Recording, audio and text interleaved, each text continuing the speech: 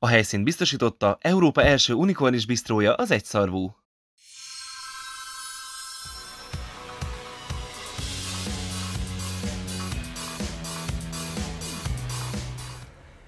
Üdvözletem mindenkinek, én Osváth Zsolt vagyok, ez pedig itt a Zsoltime YouTube csatorna, és hát itt van velem Brigitta is, mert a bejelentkezéskor mindig szeret itt lenni, szeret egy kicsit exhibicionista, nem tudom, hogy kire üthetett vajon.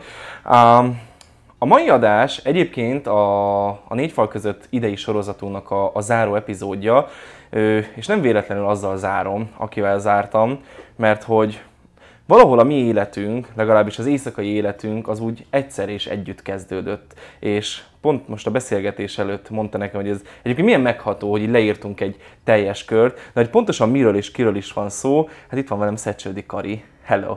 Szia. Szia! Köszönöm szépen, hogy hazajöttél, mert hogy egyébként már ugye nem Magyarországon élsz, ugye, hanem Né- van, igen, igen. Németországban. Mikor költöztél ki? Hú, hát legelőször, mert ugye ingáztam, meg ingázok a mai napig, de legelőször 2016-ban. Uh-huh. És akkor utána egyszer hazajöttem egy évre megpróbálni itthon, ami nem ment, és akkor most visszamentem most már másfél éve. Hol laksz Németországon belül? Ö, NRV megyében, ami ott van Köln, Düsseldorf, azon a mhm. környéken. Uh-huh. És beszéled a nyelvet, vagy angolul beszélsz? Ö, ang- angolul napi szinten, ugye a barátaim, ismerőseim, a német az akadozva, de megy. Uh-huh, ugye, uh-huh. Hogy... No, még mielőtt a megismerkedésünk pillanatáról beszélgetnénk, uh-huh. beszélgessünk egy kicsit arról, hogy hogy neked volt a Megasztár. Talán a Megasztárból uh-huh. lehet sokaknak ismerős, bár nem így, mert hogy akkor még, a, a, akkor még fiúként, hát igazából nem fiúként, de hogy fiú testben ö, voltál és szerepeltél te a TV2-n. Uh-huh. Uh, hogy értette meg azt a korszakot egyébként? Te akkor már tisztában voltál azzal, hogy te transzexuális vagy? Vagy akkor még fogalmad nem volt, hogy mi van? Fogalmam nem volt, abszolút, abszolút nem tudtam semmit erről még. Gyerek voltam, 15 és fél éves. 16-nak voltam írva adásban, és 15 és fél voltam. Tehát akkor ez, ez még abszolút semmi tudatos dolog ebben nem volt. És ott a stáb egyébként, ők, ők hogy kezeltek téged? Egy srácként, egy meleg srácként, egy srácként, aki fogalmuk sincs, hogy mi van, mm. egy lányként? Absz- abszolút egy, egy, egy normális tinédzserként inkább. Tehát ott, ott abban az időszakban, pláne az a stáb, az a széria, ott, ott nagyon-nagyon kedvesek és barátságosak és segítőkészek voltak, úgyhogy nem éreztem semmiféle más dolgot, hogy engem így másképp kezelnének. A, a kisebbeket, mint annó volt ugye Lucy, Hien, uh-huh. mi voltunk a picik, ránk szerintem sokkal jobban odafigyeltek, mivel még gyerekek voltunk, de azon kívül nem, semmi extra nem volt ebben. Akkor már édesanyád ő nem volt velünk, ugye? Akkor nem. nem. Akkor, akkor, akkor volt egy éve. Uh-huh. Tehát akkor az egy, az egy, ez egy elég friss dolog volt. Uh-huh. Uh, emlékszem, egy, egy ominózus adásra, nem, lehet, hogy uh, talán az újra reggel van, énekelted a fekete vonattal, amikor a zsűri azt mondta, hogy túl sokat gesztikulálsz, nagyon, nagyon, nagyon mozgatod a kezedet. Uh, Hát nekem nagyon vitni, Igen, nekem nagyon vitnis volt, Aha, ugye. Igen. Ö, aztán később ugye én megtudtam, hogy ez, hogy ez, hogy ez miért van. Ö, sokszor szóltak rád abban az időben, vagy sokszor jegyezték meg, hogy mondjuk a gesztikulációd az nem túl maszkulin, tehát hogy lehetett már akkor ilyen jeleket ö, látni rajtad, vagy akkor is inkább azt mondták, hogy jó, hát meleg.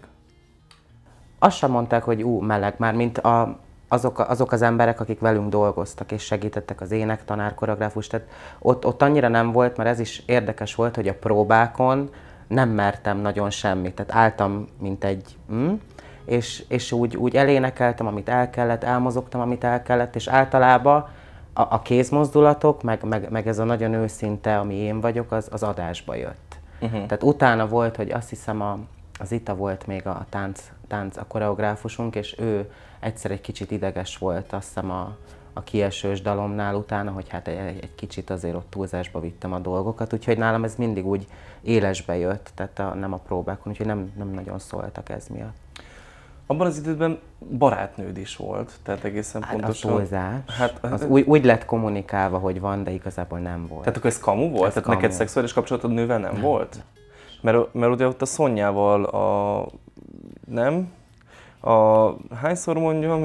ez a Minket összehoztak többször, a Hiennel is, például Hiennel a Hiennel is, is összehoztak, de az is úgy zajlott le, hogy, hogy, hogy, hogy ilyen pletyka szinten elkezdtek erről beszélni, és így mond, mondtuk a hiennel, hogy ez tök jó lenne már így valami újságcikken, lesi fotó, vagy valamit csináljuk, mert tínédzserként, de semmi komoly nem volt ebben. Aha, a Szonyával meg pláne, tehát úgy éreztem, mintha a testvérem lenne, meg a mai napig. Mert igazából. a sajtóban teljesen úgy jött le, hogy ti egy párt Igen, alkottok. igen. Utána egyébként, amikor elkezdtem egy kicsit már feminin lenni, akkor, akkor kicsit megijedtem, hogy elkezdtek bántani az éjszakai életbe, vagy, vagy, vagy kommentekbe már akkor, és akkor úgy voltam vele, hogy na jó, akkor mondjuk azt, hogy, hogy, hogy nekem van egy barátnőm, és hát ha békén hagynak. De ez még ilyen tizenévesen nem tudod, hogy mi vagy. Ne, akkor tényleg nem is tudtam még. Tehát Mhm. ez nem, nem volt tudatos nekem 10 18-19 éves koromig biztos. Menjünk szépen fokozatosan. Mi az, amivel így először tisztában voltál, amit, ami a te szexualitásodat illeti? Tehát ott van Szecsödi Kari, akkor még Szecsödi Karcsiként ismert mindenki, igen. Tudtad, hogy összehoznak lányokkal, neked ez annyira nem gyere be, ö, viszont gondolom érezted, hogy valami nem oké az életedben. Honnan tudtad egyáltalán, hogy neked merre kellene elindulnod? Honnan tudtad bekategorizálni magadat?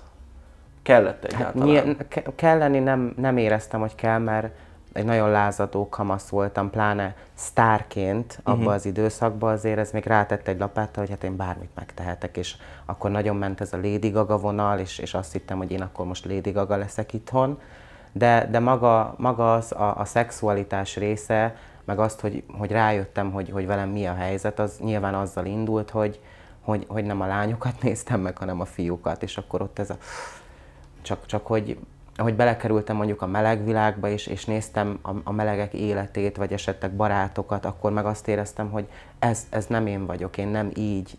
Tehát, hogy nehéz és hosszú út volt egyébként. Tehát ez évek kellettek, és tapasztalatok, meg, meg mindenféle ilyen, mire rájöttem, hogy ja, oké. Okay.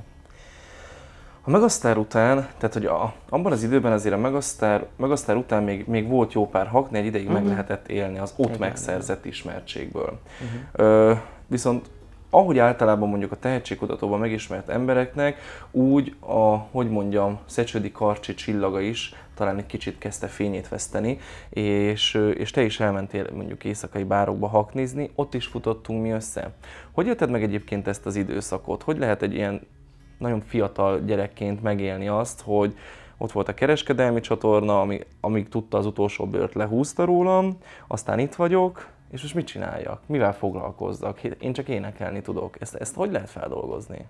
Az az igazság, hogy, hogy ö, itt a lényeg az az volt, hogy mellettem és mögöttem nem állt senki olyan ember abba az időszakban, család, ismerősök, közeli barátok, akik, akik engem mondjuk úgy támogattak volna, hogy mutatnak egy utat, hogy figyelj, ezt így csináld, így beszélj az interjúkba, ezt mond, erről ne beszélj, ez egy kicsit tomacs. És velem ez volt a baj, hogy én így 16-7-8 évesen, amikor talán az ember a, a legszabadabb éveit éli, akkor én így, így az ország elé, az interjúkba, a, az újságokba, a klubokba, és ezáltal nyilván én, én azt gondolom, hogy ez miatt kezdett el egyébként az a bizonyos csillag Halványod. halványodni, mert, mert olyan dolgokat csináltam, és, és Te tettem. elszülöttél akkor? Nem, nem az ülést, az, az ülésnek nem mondanám, mert én soha nem drogoztam úgy, soha nem, soha nem voltam ezen a... Hát, hát úgy, hogy próbálni kipróbáltam, de nem jött be, és nem, nem, nem voltam el ez a fajta. Nekem lelki,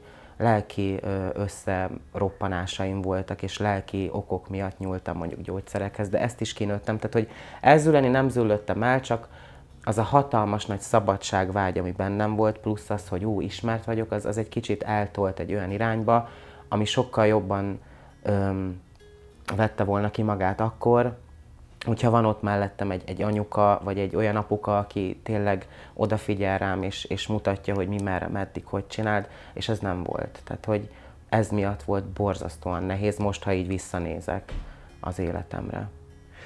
Aztán találkoztunk a kapellába, ahol te egyébként fellépő voltál, de még akkor még mindig, tehát még mindig nem nőként, hanem mindig ö, ö, férfi testben, ö, Szecsedi Karcsiként léptél Hát már fel. azért feminibb Abszolút, tehát hogy ott, ott megkértél, hogy, hogy, hogy rajzoljam meg a szemöldöködet, Igen, adjak kölcsön egy póthajat és társai, tehát hogy, hogy ott már azért elkezd, sőt, emlékszem, javíts ki a tévedek, létezett olyan nevű, hogy Szavanna? Igen, az volt az otthonom Igen, konkrétan. elmentél szórakozni egy Savanna nevű helyre, és kölcsön kértél tőlem egy mikrofonhajat. Mert, Úristen, eh, ilyenekre én, én emlékszem ilyenekre most én is. emlékszem, i- igen, és, és úgy mentél, és mondtad, hogy, hogy csináljam már meg a szemöldöködet, meg egy kicsit húzzam már ki a szemedet, hogy úgy akarsz menni. És néztem, hát mondom, abba az öltözőbe ott ez nem volt fura kérés, aki sminkelni tudott, ott mindenki pillanatok alatt nővé változott. Ö, és én azt hittem, hogy ez egy ilyen hóbort nálad. Ö, és hogy folyamatosan felléptél, felléptél, felléptél, majd ugye én is más irányt vett az életem, neked is más irányt vett az életed. És aztán egyszer csak azt láttam, ö, talán a fókuszba, hogy Szecsődi Karcsiból, Szecsődi Kari lesz. Fókusz. Ö, nem a fókuszban voltam elműtéted? TV2. TV2? Akkor Tények? igen. Lehet, vagy nem, vagy nem Tények. tények, mi az, az Ö, a aktív, aktív, aktív, aha, bocsánat, igen, az aktív. Igen, hát az a, igen, az aktív, az a, az a vises fókusz, nem? Igen. Az a, az a, az a, Fókuszba jobb lett volna egyébként. igen. De hát mindegy. Ö, és akkor ott láttam a- a melműtétedről Igen, szóló híreket, és akkor mondta, hogy basszus, de durva, ö, hogy Az sem kellett volna egyébként, tehát azt, hogy én lekommunik, nem azt, hogy lekommunikáltam, konkrétan így vették fel az egészet, még azt is, amikor a, az altatásból ébredek föl, és így, tehát hogy ezeket sem kellett volna. Tehát akkor sem volt már ott valaki, aki azt mondja, hogy figyú, ezt így, ezt úgy, ezt amúgy. Tehát e- ezek nagyon-nagyon-nagyon sokat rontottak az de nagyon szoros kapcsolatod volt például a Némedi Marival, nem? Ha jól tudom. Igen, Ő, Ak- hát igen, akkor már igen. Tehát a- abban, abban az időszakban ő, ő mit jelentett neked egyébként? Vele milyen kapcsolatban voltatok? Nekem igazából ő volt a, a pótanyukám, Uh-huh. igazából, aki, aki próbált öm, óvni, védeni, m, mindenféle ilyen szempontból úgy mellettem állt, viszont nem, nem ment nagyon jó irányba vele se a kapcsolatom, mert neki is voltak zűrös dolgai, meg igazából az, hogy ahogy ő akarta élni az életét, az nekem nem fért bele. Tehát ő, ő nagyon ö, olyan típusú ember volt, hogy ő nagyon akart menni, fellépni, ő ráírogatott nagyon sok ö, tévésre, újságosra, hogy ú, figyelj, írd már meg ezt, csináljuk ezt, csináljuk azt, és ez miatt ö, mielőtt szegény elment, azelőtt ilyen egy-két éve nekünk nagyon megromlott a viszonyunk, de uh-huh. nekem ő a mai napig úgy van a, a kis lelkembe, hogy, hogy ő volt a, az egykori pótanyukám. Uh-huh. Egyébként egy egy nagyon csodálatra és szeretetre méltó ö, nő volt, és én, én nagyon, nagyon szerettem őt. De egyébként, amit te is mondasz, valószínűleg igen, ő is nagyon nehezen tudta elfogadni azt, hogy nélkülözés mellőzi a szakma. Apropó szakma, um, hát ugye szembe jöttél velem akkor az aktívba, egy, hát nem kisebb, mint egy melműtéttel, uh-huh. és akkor, akkor ez így világossá vált mindenki számára, hogy te nőként, tehát hogy te, te megvalósítod magadat, és, és te innentől kezdve nőként éled az életedet. Mikor jött ez a felismerés? Illetve amikor megműtetted a melledet, akkor te már tisztában voltál azzal, hogy transzexuális vagy, vagy jött egy jó lehetőség? Ne, és, abszolút tisztában voltam. Uh-huh. Tehát ez nem az volt, hogy felajánlották és elfogadtam. Ott már én ezt terveztem talán, ez 2012-ben volt, és én 2010-11-re mondom ezt a, a, a bebábozódott dolgot, amikor már így éreztem, hogy aha, ott, ott ki fog bújni egy pillangó. Tehát akkor már abszolút százszázalékosan biztos voltam, hogy na ez, ez az én életutam, és így leszek boldog.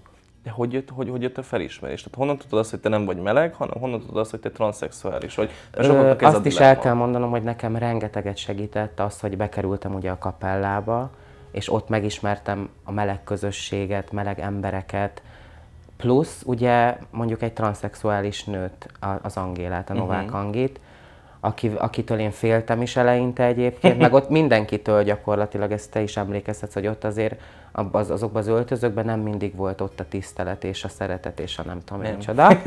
Igen, amit, amit Az én egy viperafészek. Az, a tragi öltözők azok, le, azok Igen. tényleg egy viperafészek. Igen, és én pontosan, volt, volt is egy olyan időszak, amikor azt gondoltam, hogy, hogy minek vagyok én itt, hogy, hogy tényleg ott, ott mindenki valamilyen szinten elhitte, hogy, hogy ő itt a Beyoncé, ő itt a nem tudom én kicsoda, és hogy én oda mentem úgy, hogy élő hangon, úgy, hogy nekem volt múltam a médiába, egy időben rengetegen jártak le engem megnézni, és mégsem csináltam ott semmit, hogy na hát akkor most mindenki menjen odébb, hanem én voltam az, aki a sarokba így sminkelt, és mindenki bántott, hogy ez nem smink. Kérdeztem, hogy na jó lesz így a sminkem, és azt mondták, hogy a mid, a sminked, ez smink, tehát hogy Nem volt ott, igen, olyan, olyan, olyan könnyű a szitu, viszont ott volt az Angi, meg te is egyébként, aki segített, de hogy az Angi, mint egy transzexuális nő, ahogy, ahogy láttam, csodáltam és, és, és érzékeltem dolgokat rajta, ő is ezt észrevette rajtam, hogy nagyon szeretnék beszélgetni, és Angi egyébként egy nagyon ö, nyitott szellemű ember ilyenre. Tehát, hogyha lát valakit, aki szeretne beszélgetni akármiről, ő, ő mindig ott volt nekem. Úgyhogy általa kezdtem rájönni dolgokra. Mondta nekem, hogy figyelj már, Kari, ez, amit most csinálsz, hogy félig fiú, félig lány, félig sminkelsz, félig fiúra, ez, ez, ez biztos, hogy nem jó, mert tehát vagy ez, vagy az. És mondtam, de hát félek, hogy meg fognak szólni, és soha nem felejtem el azt, hogy mondta nekem, hogy szerinted ez nem gáz, ahogy kinézel most, hogy ezért nem néznek meg, ezért nem szólnak, hogy látnak valakit, aki félig fiú, félig lány, fi, fiú, fiúgatja, női cipő, férfis, mit tudom én, szakál vagy akár. Tehát, hogy én nálam ez így minden volt. Azt mondja, na ez, ez nem egy jó dolog, döntsd el vagy fiúként, vagy nőként.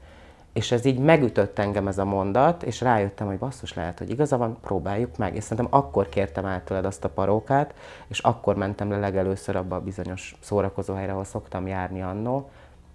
És ahogy, ahogy ö, kiléptem azon a helyen nőként, tehát úgy, hogy már tudtam magamról azt, hogy na ez most nem fiúruha, ez most női smink, női ruha, női külső, és akkor éreztem valamit, hogy aha, azt hiszem, hogy én így érzem jól magam. Tehát, hogy a, a külsőségek, által nekem így jött az első olyan érzés, hogy lehet, hogy, hogy, hogy itt ezzel volt baj.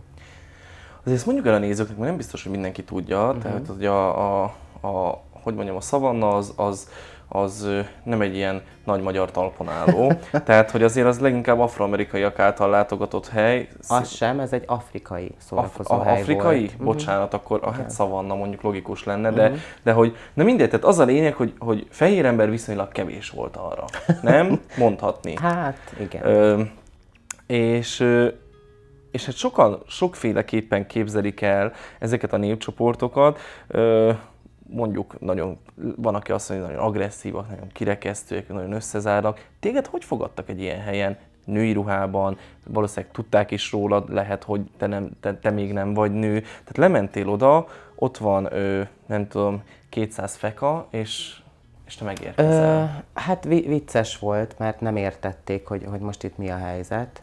És ö, azt tudni kell egyébként róluk, hogy ö, ők, ők olyan emberek, hogy általában ők is előítéletesek egyébként, mivel pláne Afrikában ez az LMBTQ dolog, ez nagyon tiltott. Tehát ott konkrétan a mai napig van olyan, hogy halálbüntetés, van uh-huh. olyan, hogy, hogy börtön, meg mit tudom én.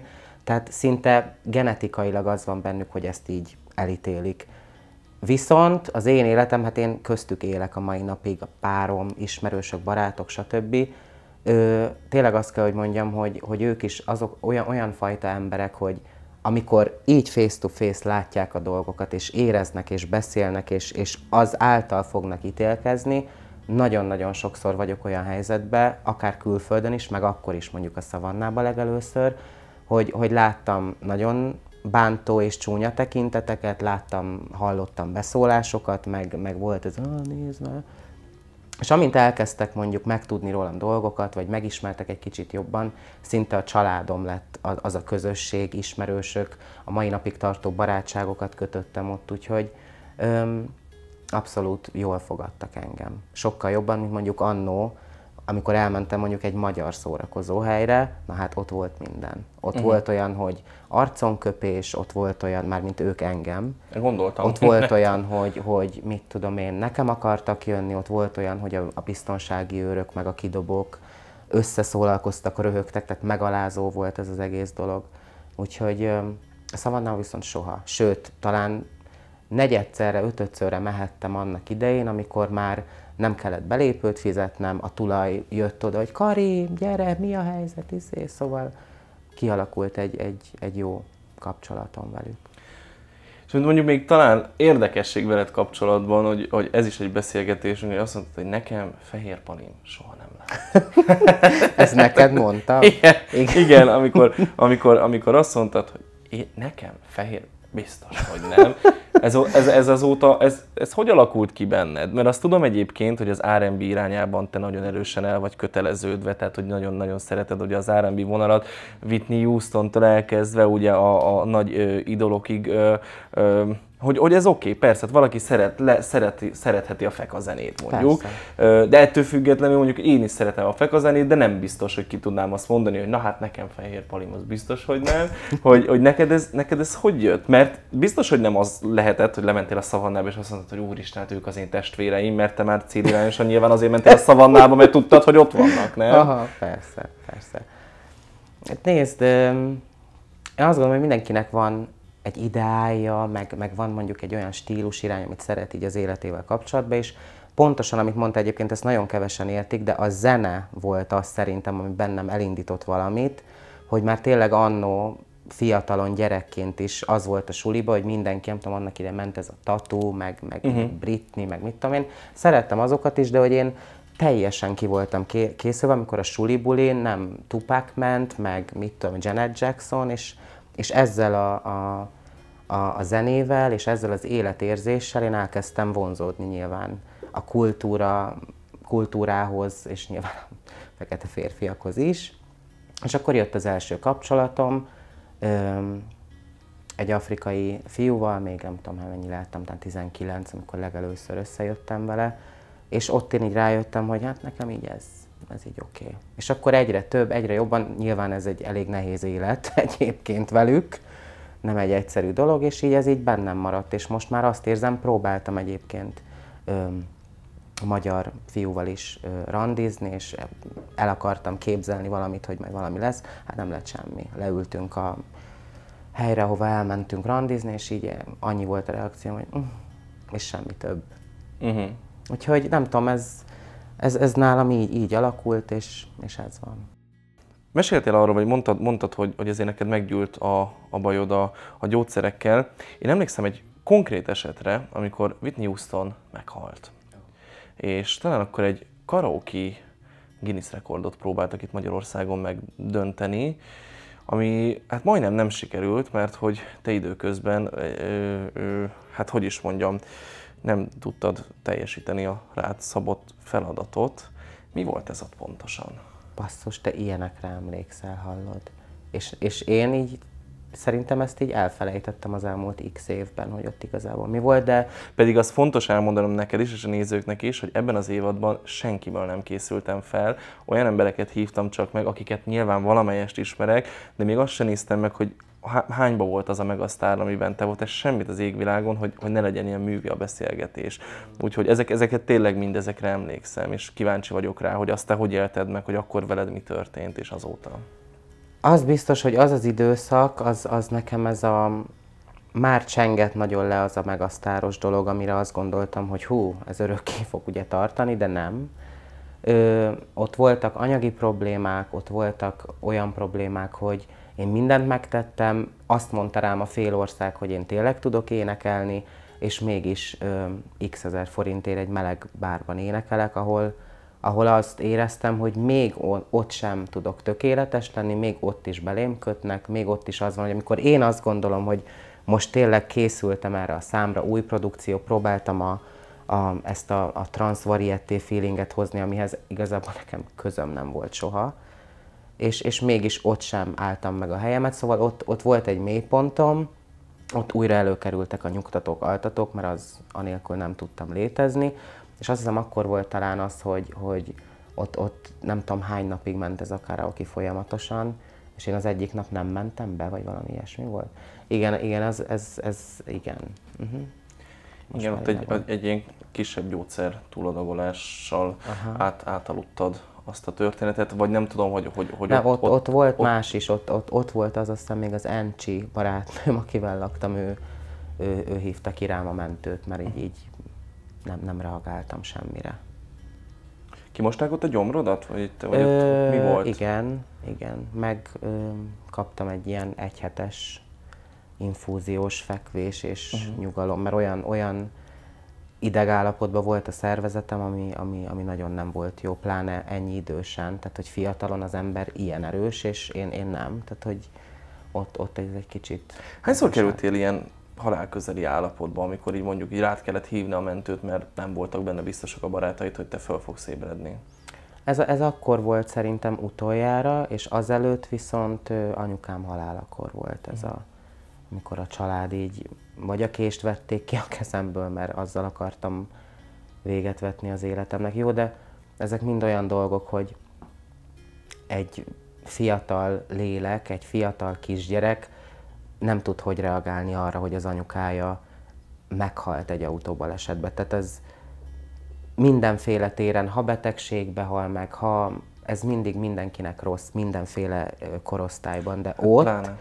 Igen, hogyha ennyire tizen, hirtelen. 14 évesen, úgyhogy nekem aztán ő volt a, a mindenem, a mai napig, a legjobb barátnőm, nincs olyan nap, hogy ne beszéljek hozzá, mielőtt lefekszem aludni, mint hogyha imádkoznék, hogy szia anyu, ez és ez volt, bla bla bla. Tehát, hogy, hogy nagyon-nagyon szerettem, tőle kaptam a hangomat, az egyetlen olyan dolgot, amire büszke vagyok az életemben, meg a zenei vénámat, stb. Úgyhogy ott volt az, amikor azt mondtam, hogy na hát akkor én is, mert olyan nincs, hogy anyu nincs. Meg utána, amikor jött ugye a Megasztár, hogy azt gondolom, hogy most akkor az életem sinán van, tök jó minden, majd rájöttem, hogy nem, és talán nagyobb bajba vagyok, mint, mint valaha kerültem eddig. És akkor meghalt Whitney Houston is, és akkor úgy nem tudom, jött egy ilyen lejtő, ilyen téren, de akkor sem drogok voltak igazából, hanem nyugtató, altató, meg ilyen dolgok. Hát az most, hogy Sajnos. igen, hogy legális vagy illegális dolgok tulajdonképpen. Hát viszont Igen. azért annak örülök, hogy oda nem mentem, mert észrevettem egyébként nem csak itthon, de itthon főleg, hogy sajnos a, a transz, transzexuális embereknek szerintem bőven ki lehet mondani, hogy a 80 százaléka az mind, ha nem is függő, de rendszeresen ott van a drog, vagy az alkohol, vagy, vagy ez a nagyon... De mit gondolsz, ennek mi lehet az oka? Mert egyébként a napokban vesztettük el az egyik volt kollégánkat. Így van. Ö, mi, lehet, mi lehet annak az oka, hogy, hogy a transzexuális emberek sűrűn nyúlnak alkoholhoz, droghoz, gyógyszerekhez akár, és mondjuk nem csak a transzexuális emberek, hanem, hanem mondjuk vannak, vannak olyan melegek is, akik, akiknek sokszor az életük ilyen irányt vesz. Ennek mi lehet az oka? Egyszer az Angéla mondott egy nagyon jó dolgot e- ezzel kapcsolatban, és ott egy kicsit így átment az agyamon, hogy ez ig- igen, velem is megtörténhetett volna, hogy az az élet, amiben a transzexuálisok és a melegek is léteznek, melegbárok, stb. buli, buli, buli, ez nagyon-nagyon összpontosítanak arra, hogy igazából egy ma, itt Magyarországon egy meleg férfi hol tudja magát elengedni, úgy igazából a párjával, az, az sajnos vagy nem sajnos, de vagy egy melegbár, vagy egy melegbarát hely. És szerintem ez miatt, amikor az van, hogy most a melegek, transzok mennek bulizni, ott, ott az éjszakában ott van a drog, ott van a, az alkohol, és, ebbe, és ott lehet maradni nagyon-nagyon keményen ebbe. Uh-huh. Tehát kevés olyan ember van, aki azt mondja, ú, ezt, ezt nem akarom, hanem az van, ja, figyelj, már van nálam egy kis, mert mindenhol ott van tényleg egy, nem tudom én, kiúsz egy melegbarát helyre, és, és akkor az van, hogy figyelj, van nálad, van, persze, gyere, tehát hogy nagyon, Ez egyébként csak a melegbarát szórakozó helyekre igaz, vagy azért a hetero helyeken is? Biztos, hogy a hetero helyeken is, de a hetero emberek azt gondolom, hogy azért sokkal több mindent megtehetnek, mint mi, vagy ti, vagy, vagy akárki, mert tényleg azt gondolom, hogy itt rohadtul le vagyunk korlátozva minden téren, és valakinek nincs elég öm, energiája, rálátása, vagy, vagy tűrőképessége ahhoz, hogy, hogy akkor azt mondja, hogy jó, hát mindegy, ez van, éljük így az életünket, és akkor majd kicsit tombolunk a buliba, hanem az van, hogy összeülnek, klikkesednek a, az emberek. Na, én nagyon sok, van egy És a barátnőm, drogok által szerinted akkor megélik azt a felszabadult életet, amit egyébként Pontosan. a társadalomban nem élhetnek meg, mert mondjuk kirekeztik vagy megkülönböztetik őket? Erre gondoltam, csak nem tudtam nagyon megfogalmazni, de konkrétan ez. Tehát igen. Mert ezt látom is. Van egy nagyon kedves barátnőm, ő szintén transzexuális csaj, és neki vannak, ö, van egy társasága, akiben én annak idején mindig elmentem velük bulizni, ö, szórakozni, próbáltam egy kicsit így ebbe a társaságba lenni, és én ott, ott vettem észre, és mondtam is a barátnőmnek, hogy nekem ez nem megy. Én ezt nem akarom nézni, hogy, hogy tényleg arról szólt az életük, ha nem meló, akkor, akkor cuccok, tehát akkor cuccoztak, és anélkül nem ment a buli. És ha nem volt, akkor nem mentünk el, és azt mondtam, hogy nekem ez, ez nem. Ezt, ezt Jó, én de neked mi a akarom. recepted arra, hogy te nem ezt csinálod? Tehát akkor neked mi a recepted arra, hogy, hogy mondjuk te nem beállva töltöd az életed nagy részét, ö, most már a nyugtatók, altatók, antidepresszásokat is letetted? Abszolút minden. Tehát akkor, akkor te hogy tudsz káros szenvedélyek nélkül megélni a nőiességedet, megélni az életedet, elfogadni önmagadat? Tehát akkor neked mi a receptet? Ha néz minket valaki, aki szintén ebben van, hogy hétről hétre, akkor, akkor neki mit tanácsolsz? Hogy jöjjön ki ebből? Hogy lehet kijönni ebből?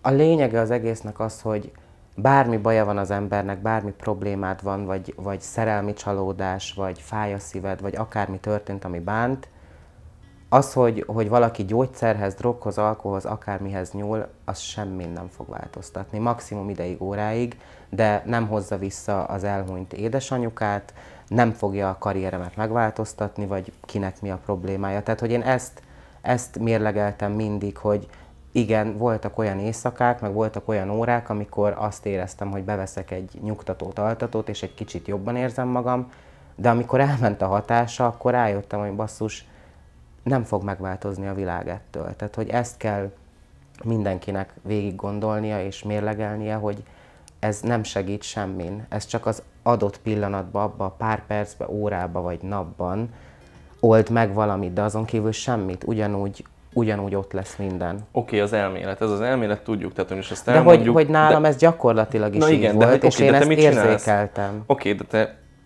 mit csinálsz a helyet? Mit csinálsz a helyet, hogy összeülnétek mondjuk nem tudom, egy kicsit kokainozni a, a havernőkkel szombat este, vagy mit csinálsz a helyet mondjuk, hogy egy afteron lennél vasárnap napközben? Uh-huh. Mi, mi, mik azok, amikkel helyet én, tudsz én, csinálni? Amellett egyébként, hogy, hogy, hogy én azt mondom, hogy nem züllöttem el, de amellett én nekem azért volt egy olyan fiatal korom, ez a 21, 2, 3, 4, 5, 6, 7, 8, és most vagyok 29. Nem, de komolyan régen azért durván. És ez most nagyon durva, mert a legjobb barátnőm, akivel mi voltunk a buli királynők, ő most szült három hete éppen, és hogy így most beszéltünk arról, hogy most egy korszaknak érezzük, hogy vége van. Tehát, hogy én nagyon, nagyon-nagyon mentem azután, hogyha nem drog, hogyha nem ez, akkor nem az, de hogy mi tesz engem boldoggá, és mondjuk ott volt a szavanna abban az időszakban, hogy az a kultúra, azok a zenék, az tényleg az volt az életem, hogy hétközben azon gondolkoztam, hogy hétvégén mit fogok felvenni azon a Aha. bulin. És akkor ehhez jött mondjuk párkapcsolat, jött az, hogy, hogy én ebbe megtaláltam a boldogságomat zeneileg is, emberileg is mindenhogyan. És én olyan ember lettem egyébként, hogy, hogy apró, pici, icipici dolgokat is képes vagyok kreálni, alkotni azért, hogy én jól érezzem magam. Lehet az egy, nem tudom, most, hogy ugye nagyon megy ez a, az internetes világ, hogy, hogy szeretek jó képeket, videókat vagy bumerángokat csinálni, hogy én képes vagyok megvárni egy S-bánt, ami olyan, mint a villamos itt németben, hogy elmegy kettő, mire én el akarok kapni egy fényt, hogy én pózolok kettőt, és én attól jól érzem magam. Hát meg most már TikTokon is pusztítasz, nem láttam. Hát, hogy a pusztítok az túlzás, de hogy, láttam, hogy láttam, annyi hogy minden ott is, van.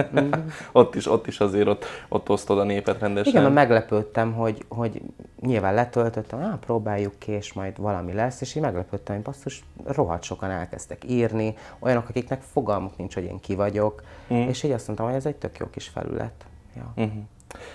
Mit lehet tudni a jelenlegi párodról? Hol ismerkedtetek meg? Mióta vagytok együtt? Ez nem egy ö, ö, nagyon régi kapcsolat, mert ugye négy és fél évig voltam együtt az exemmel, ami uh-huh. eléggé a zűrösen zárult le. És én utána most egy évig ö, szingli voltam, és vele február óta vagyok együtt, úgyhogy csak pár hónapja tart ez a dolog, de meg vagyunk, és meglátjuk, hogy mi lesz. Hol tart a te tranzíciód egyébként? Te teljesen át vagy már műtve? Nem, abszolút nem, nem és ö, nem is tervezem. Uh-huh. Terveztem olyan 21-2 évesen, én azt mondtam, hogy én addig nem fogok boldog lenni, és, és ö, az életemet úgy élni, ahogy szeretném, amíg én nem leszek átoperálva.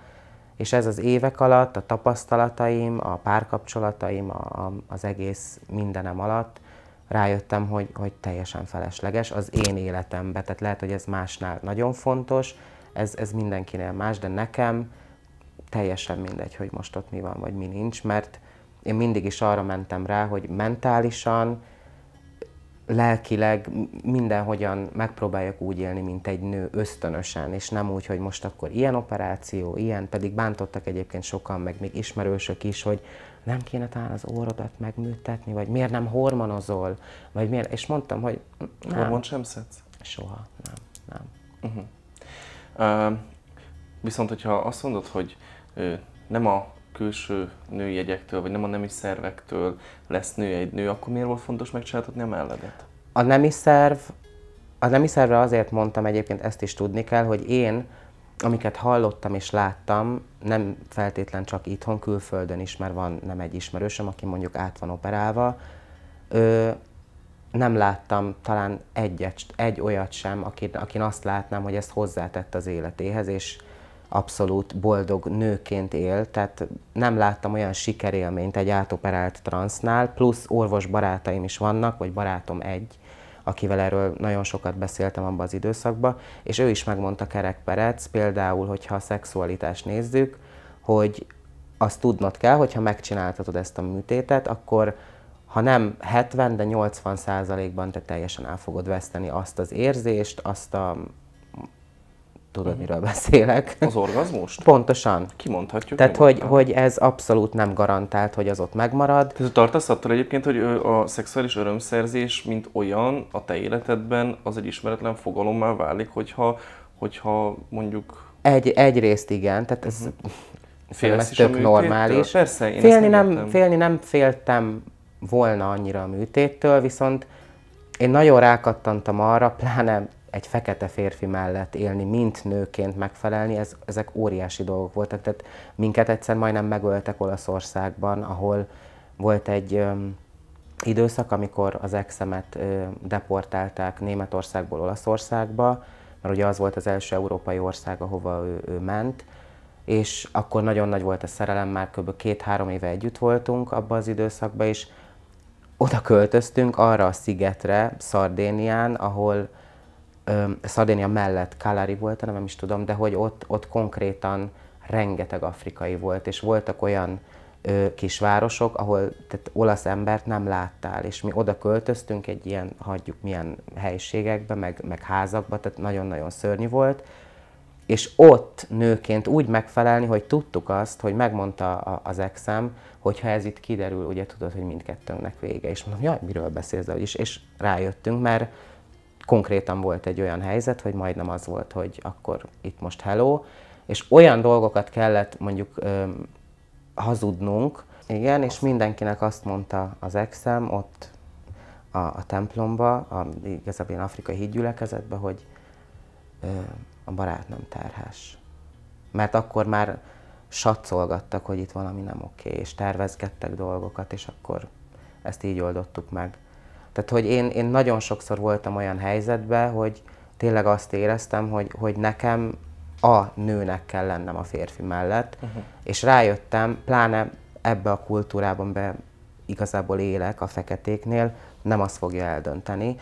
És szerintem is egyébként nem az dönti el, hogy nekem most milyen nemi szervem van, ha már tényleg itt arról beszélünk, jó, de ez mindenkinél olyan, valaki azt mondja, igen, egy transzexuális nő is nő, valaki azt mondja, hogy nem. Ha valaki azt mondja, hogy egy transzexuális nő nem nő, az nekem nem attól van, hogy át van-e operálva vagy nem, hanem attól mondjuk, hogy tud-e szülni vagy nem. Arra azt mondom, hogy oké, okay, mert, mert az, az, azzal tényleg nem tudok mit csinálni. Ha tudnék szülni, szerintem már rég át lennék operálva, hogyha lehetséges lenne. Szeretnél gyereket? Nagyon, nagyon. És pláne úgy, tehát hogy, hogy ez is furcsa, hogy nyilván rengetegszer gondolkoztam én is, hogy ah, majd lehet jön egy olyan férfi, aki bevállalja velem, de hogy rengetegszer volt olyan érzésem, hogy most is például, hogy a legjobb barátnőmnek gyereke született a szerelmével, és hogy az milyen érzés lehet, és hogy mennyire rossz, hogy ezt nem tudom megélni. Tehát, hogyha az operáció hozzásegítene ahhoz, hogy én ezt megélhessem, akkor mindenféle kérdés nélkül. De most azért, hogy nekem ott más legyen, és akkor azt mondjuk, hogy na így vagyok nő, én ebben nem hiszek Tehát te szerinted így is tudsz nő lenni, és, és, Abszolút, a, és a párod igen. szerint is. Nem nehezebb így ismerkedni? Egyáltalán hogy ismerkedsz? Tehát melyik az a pont, amikor nyilván ugye lát téged, hogy egy dekoratív csajszi vagy, de hát gondolom azért az első együttlét előtt csak illik Persze. neki beszámolni arról, itthon, hogy... Itthon mindenki tudta, mert aki nem tudta, az is tudta 5 perc múlva, ha oda jött hozzám, és nem tőlem, hanem a többiek. Kint viszont nem tudják, ahova mondjuk járok bulizni, vagy ahogy megismertem most a mostani páromat, de soha nem csinálok olyat, hogy én nem mondom el. Sőt, még olyan helyzetekben is, hogyha még csak beszélgetünk úgy, hogy már érzem a, a, a pasin, hogy, hogy ezért egy kicsit kíváncsi rám, vagy mondjuk szeretne táncolni, én egyből elmondom, hogy figyelj már, azt tudnod kell. És valaki nem hiszi el, pláne kint, valaki úgy van vele, És hogy akkor kell "Jaj, csak bizonyítanod, mondod." vagy? Ne, olyan is volt egyébként, de hát mondtam, hogy "Jaj, adjál már. De az az igazság, hogy általában tízből kilencnek nem sok baja van vele, és az az egy, ez meg azt mondja, "Ó, oké. Okay. Meg egyébként pláne, pláne a, a, a feketék körében, pláne ez egy nagyon elítélt dolog, és ott egyébként ez úgy működik, hogy a mai napig itthon is egyébként, hogyha valakik úgy ismernek, publikusan nem mutatjuk, az biztos, uh-huh. de minden máshol igen. Tehát amikor egy rakáson vannak, és többen, és buliba, és mondjuk mindenki tudja, hogy igen, a Bad Girl a, a kari az a, a transz, akkor ott úgy, úgy félve, vagy már az ötödik üveg Hennessy után, akkor már teljesen mindegy, és ott akkor én vagyok felkérve a legtöbbet táncolni. Tehát azt mondod, hogy a, a fekáknál 10-ből 9 pasi egyáltalán nem zavar őt, te nem vagy hát, Ö, nem csak a feketéknél, de nyilván én köztük élek, tehát ez így megy a fehéreknél is egyébként. Aha. Azt is meg kell hagyni. Vagy most, most arról beszélek, hogyha ez egy szórakozó helyen történik. Nyilván ott az ember más állapotban van. Nem mondom azt, hogy minden férfi, és Akkor általában 9 is 10-ből páros, 9 nem? Te... Tehát, hogy, de ezt te tudod, már láttad te annak idején is, hogy ez, ez hogy megy. Persze, csak nekem nem hiszik el, amikor azt mondják, hogy, izé, hogy hetero, így hetero, úgy hetero. Én nem hiszek abban, hogy nem létezik hetero, szerintem létezik hetero. Létezik, Ö, létezik, de Szerintem is létezik hetero, de, Kevés. akár, de, de azért én is láttam valóban csodákat, ettől függetlenül én mindenkinek azt hiszem el, amit mond magára, én senkit nem fogok leellenőrizgetni. Milyen a családoddal most a kapcsolatod? Öm, abszolút jó. Rendeződtek a dolgok a- az évek alatt, hál' Istennek, úgyhogy apukámmal is. Elfogadtak? Apukád elfogadott? Mindig is elfogadtak, tehát nekünk ezzel nem volt bajunk soha, hál' Istennek, pedig apukámtól nagyon féltem, jobban, mint bárkitől, hogy ő mit fog reagálni.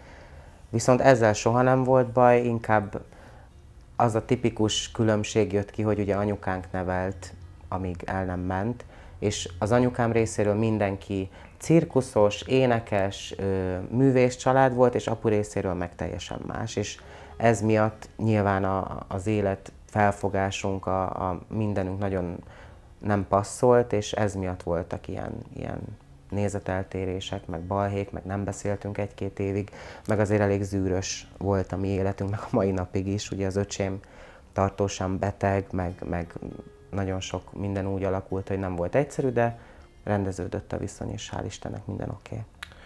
Hogy érzed egyébként édesanyád halála, a kaotikus fiatalkorod, ö, ezek bármilyen szempontból hozzájárultak a te orientációdhoz? Vagy ha ezek nem történnek meg, te akkor is nő lennél? Nem.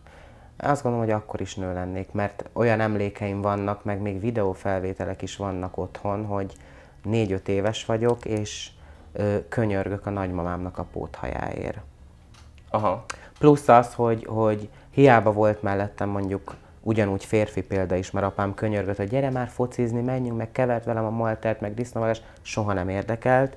Viszont anyám, amikor készülődött az éneklés, amikor ment az éjszakába dolgozni, vagy akármi, én jobban vártam, mint akkor az aktuális sorozatomat, csak azért, hogy végignézzem azt, hogy azt a tusvonalat hogy húzza, hogy a parfümöt hogy fújja magára, hogy hogy skálázik, vagy es- esetleg amikor a színpadon láttam, én olyat láttam ott, hogy úristen, tehát akkor már készült bennem egy olyan, hogy valószínű velem is ez lesz.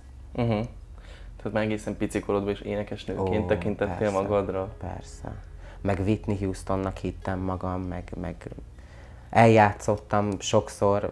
Egyszer volt egy nagyon durva dolog, hogy felhívta a szomszédom az anyukámat, hogy valami nagyon nem stimmel velem, mert azt hitték, hogy valami rohamon volt, hát nem, hanem ö, otthon nem mertem, mert ott volt anyu, meg mindenki, de én a Walkman betette, Walkman, hát ugye Uh-huh, igen. 1958, betettem a fülembe a Queen of the Night-ot a Whitney-től, és én eljátszottam az udvaron, úgyhogy az erkéről ezt nagyon sokan végignézték, ahogy a több mint testőrbe a Whitney-t a színpadon megtámadják, és ott fetreng, meg mit tudom én, és én azt képzeltem, hogy na most én vagyok a Whitney, és Queen of the Night. Szóval, hogy már akkor is ugye ez volt. Egészen elképesztő. Mivel foglalkozol most? Ö,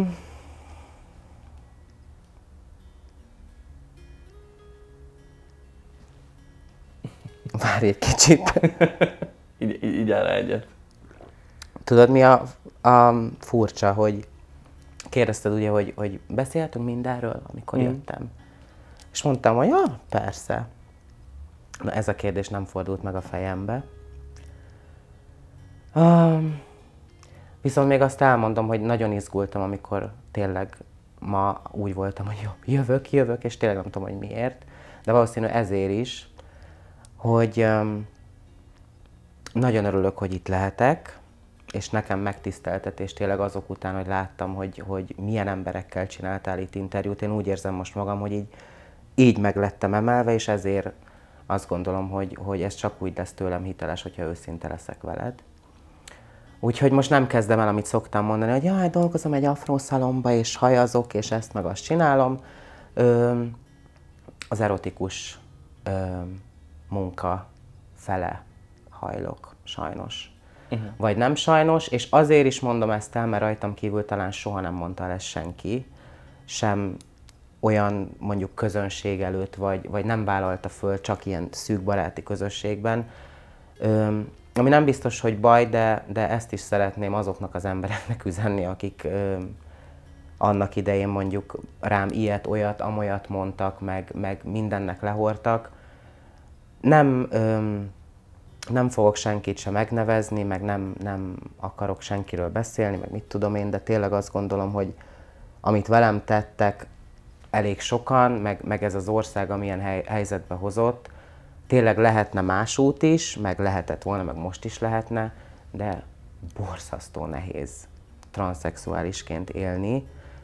Itthon pláne, de én most sajnos abban a helyzetben vagyok, hogy a könnyebbik út volt csak és kizárólag nekem a választási lehetőségem, és De akkor, annó bocsánat, belátod, hogy nem ez az egyetlen, de ez a könnyebbik út. pontosan belátom, persze, nem fogom azt mondani, hogy nekem más választásom nem volt, viszont azt hozzáteszem, hogy nagyon sokat próbálkoztam, vért izzadtam, én elmentem pultosnak dolgozni, én elmentem akárhova, és mindig az jött velem szembe, amikor pultosként voltam, akkor három nap, figyelj már, a vendégek mondták, hogy hát te a izé vagy, tudod, és hát ez annyira nem jó, hogy te...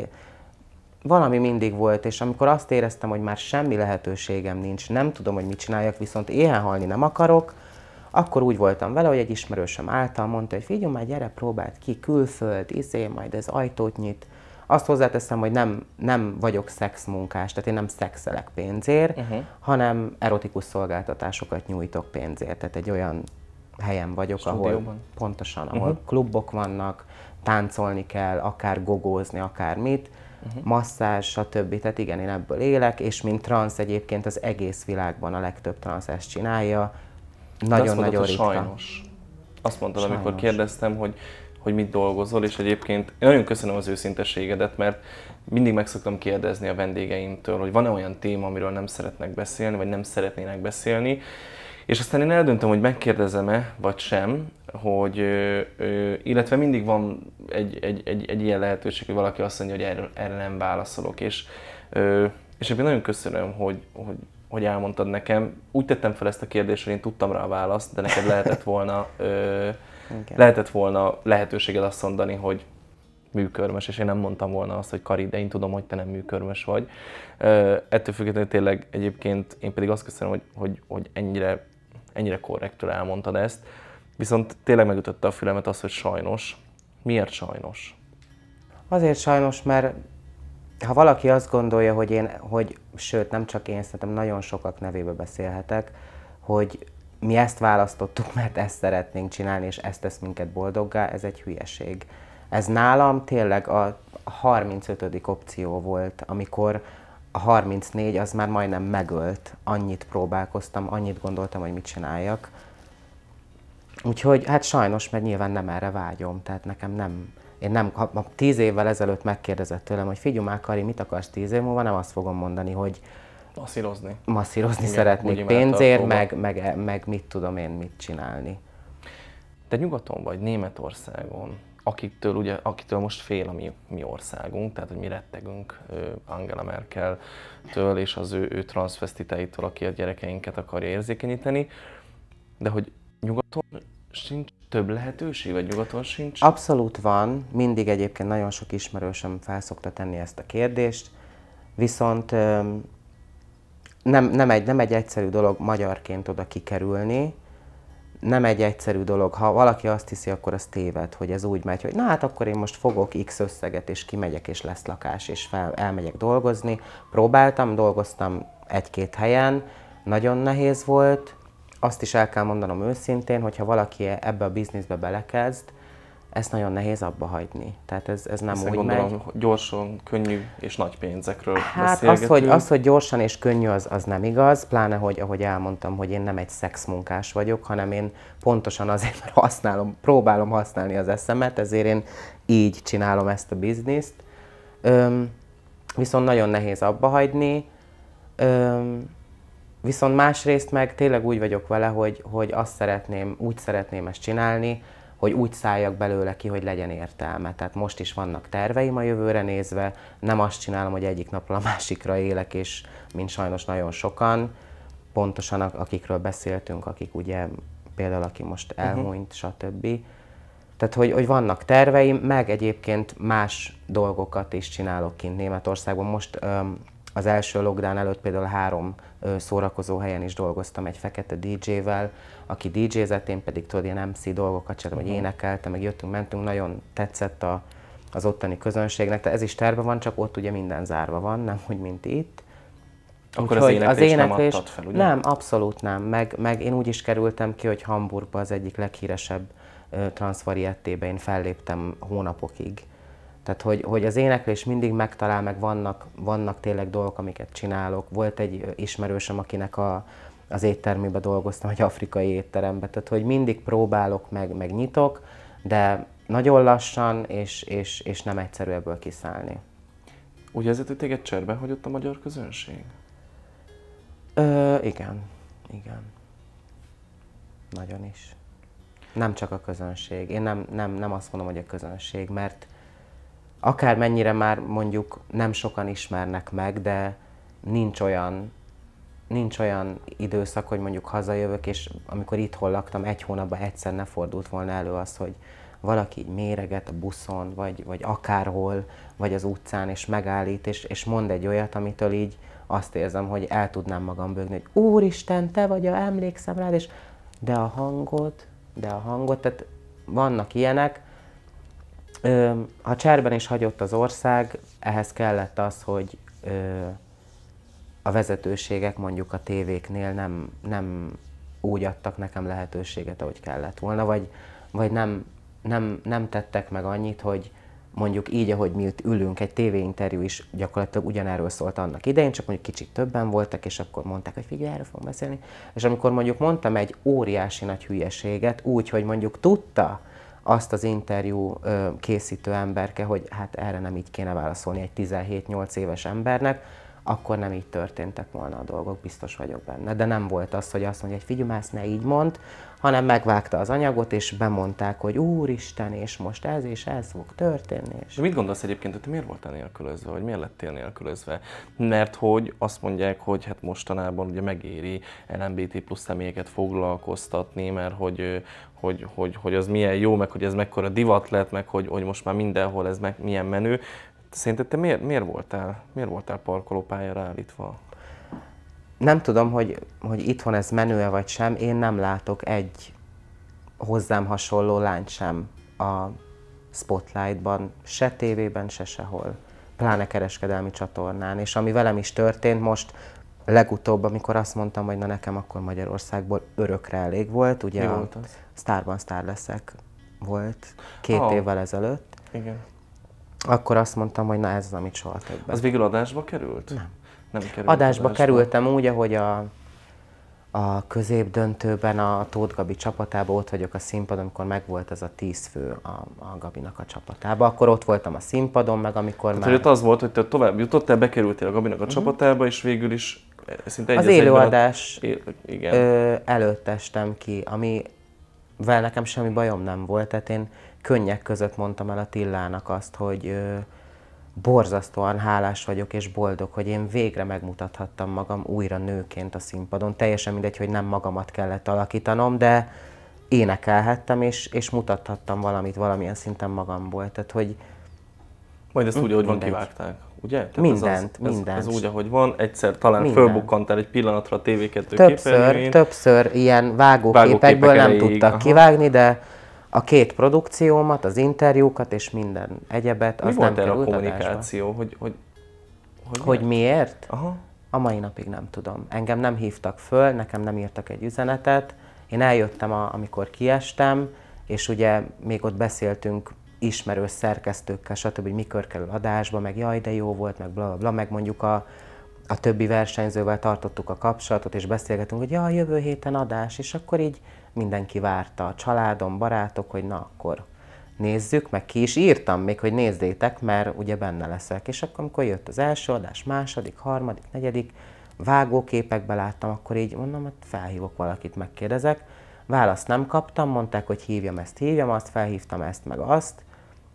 És akkor a legutolsó ember, akit felhívtam, mondta, hogy figyú, ne haragudj, úgy, úgy döntöttek, hogy, hogy mégse kerül adásba. Ennyit mond, és mondtam, hogy de, de, de miért nem szóltatok? Tehát, hogy én annyit akartam volna, hogy legalább kommunikáljátok le, hogy figyú már, ne várjad, hogy ott leszel, amiért megdolgoztál meg két hónapot az életemből elvett, nem leszel ott, az se történt meg. Ez fájt a legjobban egyébként. Mik a terveid az elkövetkezendő tíz évre mondjuk? Mm. Mindenféleképpen a zene az, még hogyha az ember a legrosszabb állapotában is van, de amilyen ember én vagyok, a zene az mindig ott van és felemel. Tehát most elkezdtem dalokat írogatni, meg, meg nyilván most, hogy ez az online világ nagyon megy, nem egy nagy dolog feltölteni egy-két anyagot, éneklést, bármiféle ilyen dolgot. Úgyhogy ez nagyon megy, nagyon várom és imádkozom, hogy a, a korona ne korlátozza Németországot, és nyissanak ki a klubok. Mindenképp ez Hiszel a vonal. Istenbe egyébként többször mondtad, hogy imádkozol. Nagyon, persze. Jó a kapcsolatod Nagyon. Istennel? Nagyon. Nem tudom, hogy az Isten vagy az univerzum, tehát hogy én ez, ez a része ez nem érdekel, csak azt tudom, hogy van egy felettünk lévő valaki, aki, akinek, hogyha te thankful vagy, ö, mi az? Köszönetet Hálás. mondasz, hálás vagy, és, és mindenben megtalálod a szépet és a jót, és stb. az biztos, hogy segít neked, és biztos, hogy megáld. Én ebbe abszolút hiszek. Tíz év múlva már lesz gyerkőd szerinted? Hát, először tényleg egy olyan pasi kéne, akivel bevállalom, de Hogy látod a mostani ő, esélyes játékos? meglátjuk. Meglátjuk. Képzeld el, az történt, hogy mentünk a nővéremmel Balatonra. Ö, Patrika, nővérem és én, és fekete vonat számokat hallgattunk. Hát mi ezen nőttünk fel, fekete vonat és, és, és társai, és kerestük a, az acapella verziót, tudod, az a nem tudja senki, hol van már amúgy? Igen. Nem találtuk meg. Egyetlen egy verzióba találtam meg, ahogy te énekled. Képzeld el, és azt hallgattuk az autóba, és azt mondta a nővérem, hogy te bazd meg, ennek van hangja. És mondtam, hogy Karinak van hangja, és sokan hajlamosak vagyunk erről megfeledkezni. És én is azt gondolom egyébként, hogy elengedtünk egy nagyon nagy tehetséget az országból. Ez, ez nem a te hiányosságod lesz, hanem bízom benne, hogy egyszer majd a miénk lesz, és majd a fejünk köz kapunk, hogy basszus, ő ott énekel a német tévében, vagy az amerikai tévében, mert hogy egyébként minden kvalitásod megvan hozzá. És nem tudom, hogy kérhetek-e ilyet, de, és hogy mennyire van meg a fejedbe a szöveg, de nem tennéd meg, hogy elénekled, nem akarlak úgy Hú, elengedni innen, Hát most hogy azon próbáltam okoskodni, hogy annyira jól megcsinálom, most minket ne bőgjem le. Mely, melyik az az apropás? ez a nem tudja senki. Ó, be se vagyok énekelve, de pár sort. Um, nem tudja senki, hol van már a múlt, de még az emlékek élnek. Nincsen már senki, aki rám vigyáz, félek, de vár az élet rám. Istenem, merre induljak el, hol a boldogság átölel. Nem emlékszem tovább. Jaj, könnyes lett az. Oh. Hát ilyet, ilyet rég kaptam az élettől. Az biztos, úgyhogy már megérte eljönnem. Minden szempontból egy csoda vagy, és, és tényleg meghat, mert mert láttam, láttalak a legelején, és látlak, hogy, hogy most hol vagy, és, és én csak azt kívánom neked, hogy, hogy minden sikerüljön, és nagyon szépen köszönöm, tényleg. És éld meg, és, és bízom benne, hogy ki fogsz tudni jönni ebből a melóból, és bízom benne, hogy ha tíz év múlva itt ülünk, akkor már arról fogunk beszélgetni, már alig tudsz majd magyarul, és, és, és a, a, nem tudom, a, a német uh, tévékben, vagy nem tudom, egy, vagy, vagy bárhol a világon egy hatalmas sztár leszel, és, és megmutatjuk ennek az országnak, hogy, hogy kit, veszítettek el. Én nagyon szépen köszönöm neked, hogy eljöttél. Nektek pedig köszönöm, hogy megnéztétek. Ez volt idénre a, a négy fal között, amit ne felejtsétek el, hogy azért indítottam, és azért van, hogy hiába van vége a Pride-nak, nagyon fontos, hogy nem csak abban az egy hónapban, egy hétben, vagy egy hétvégére fogadjuk el a másikat. Senki soha nem azt kéri, hogy feltétlenül szeres, bár egyébként hozzáteszem, hogy a Biblia ezt mondja, és nem is, nem is azt kéri senki, hogy, hogy te mindenképpen állj ki mellette, és, és, és nem tudom, és, és ott legyél, és hogy csak egyszerűen ne bánts másokat. És, és ez a sorozat, meg általánosságban ez a csatorna is azért készült, hogy, hogy ezt így, így együtt el tudjuk érni. Na, hát azt gondolom, hogy, hogy ez, ez egy gyönyörű szép lezárása volt tényleg ennek a, ennek, a, ennek a sorozatnak, és köszönöm szépen, hogy eljöttél. Nektek még egyszer köszönöm, hogy megnéztétek. És hát gőzerővel dolgozunk egy műsoron, jó mondok, kettő darab műsoron, aminek majd hamarosan látni fogjátok a végeredményét is, bízom benne. Elkezdtük az előkészületeket. Addig is lesznek videók, jönnek videók, nem állunk le, tudjátok ott az étterem, ha nagyon szeretnétek találkozni. Karinak az elérhetőségét megtaláljátok lent a, a videó alatt, tessék őt meg, megnézni, megtekinteni, bekövetni és társai. Köszönöm szépen nektek is, legyetek jó, csókolok titeket, sziasztok!